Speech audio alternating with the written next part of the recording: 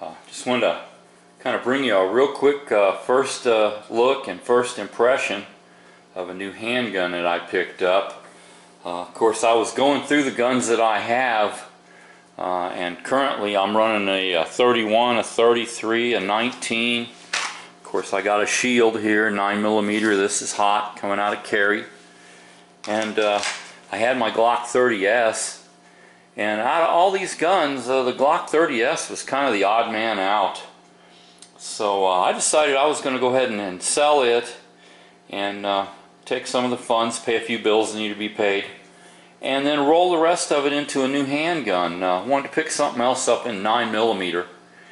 And uh, I went back and forth on two or three different guns, uh, what I wanted to get.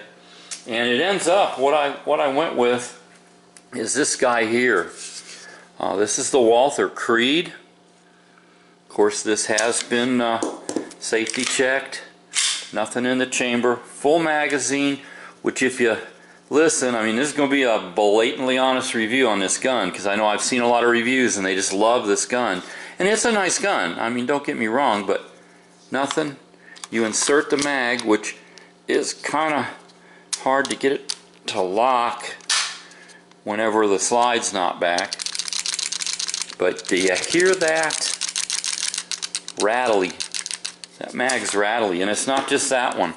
Um, you can put all these mags in. Each and every one I've tried. This one's not too bad. That's that's not bad. But uh, let's pull these two out too. This this is the uh, mag carrier from my uh, Smith & Wesson M2.0 45. These fit in it and uh, we'll we'll talk more about that in just a second. But yeah, everything that one rattles.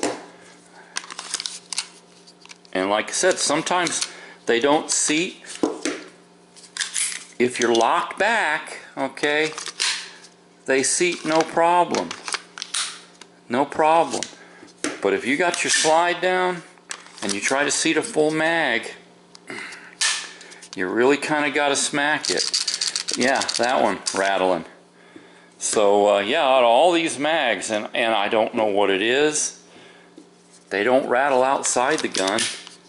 This one doesn't rattle. This is this is a good mag here. I, I'll have to look at it and compare it.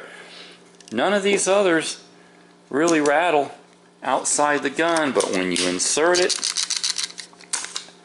so I don't know if it's just poor engineering on their part for the mags, but uh, now that we got the mag out of the gun, we can go ahead and look at that trigger pull. And it is a pre-cock double action, which is a little bit different from a true double action where you have double strike capabilities. This doesn't give you double strike capabilities. It's pre-cocked and it'll be double action, nice and easy. There's your trigger. And then when you fire, it's going to recock it. Let it drop back in and then you're back on your reset. And I do have to admit, not a bad trigger. I mean, it's it's fairly crisp. It breaks really well. Of course, I mean, you've seen a million videos on this gun. I mean, I'm not telling you anything you've probably not already seen.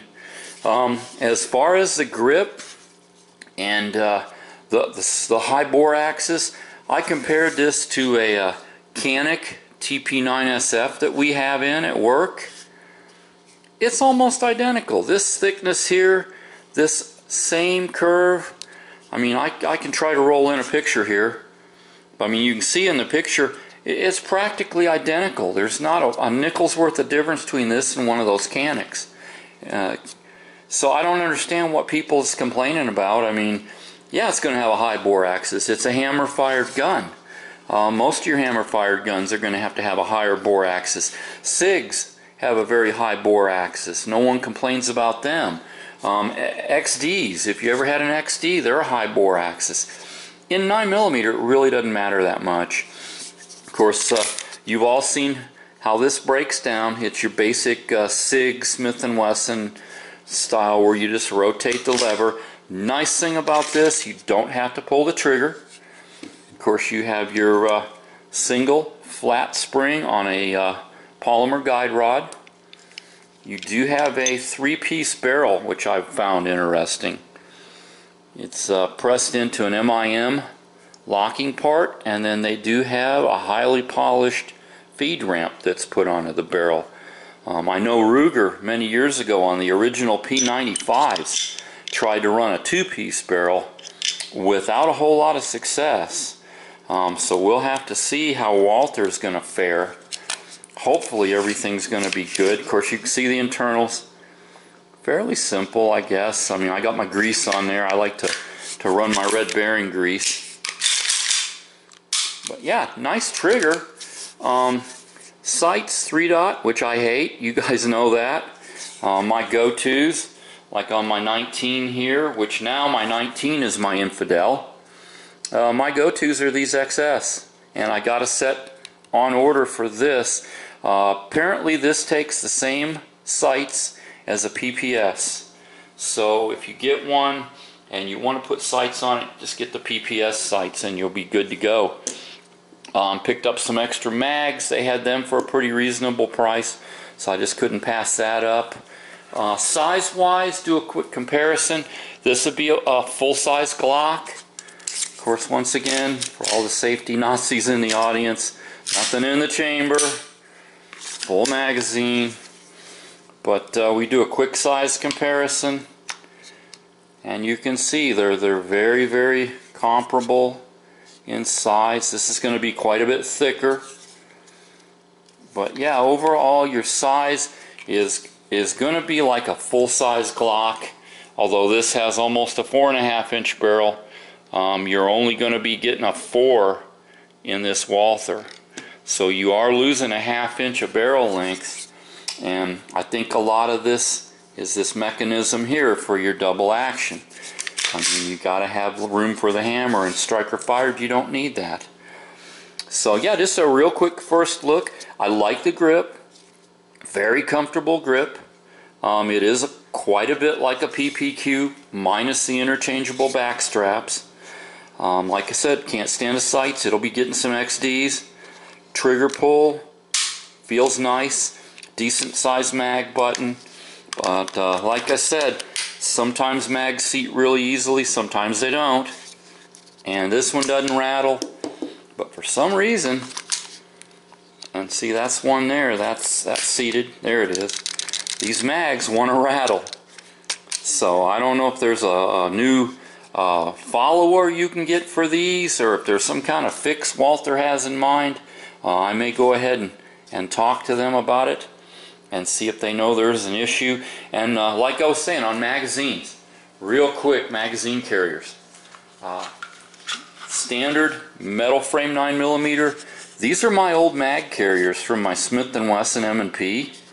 And you would think, uh, since M&P is kind of a standard 9 millimeter mag, that baby should fit right in there, but it is snug.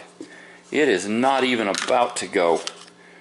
Uh, it comes closer to fitting in the, the ones for a Glock, although uh, they're a little bit on the loose side. And like I said, this one was for the Smith & Wesson 45 that I had. They're a little loose, but they do slide in side to side.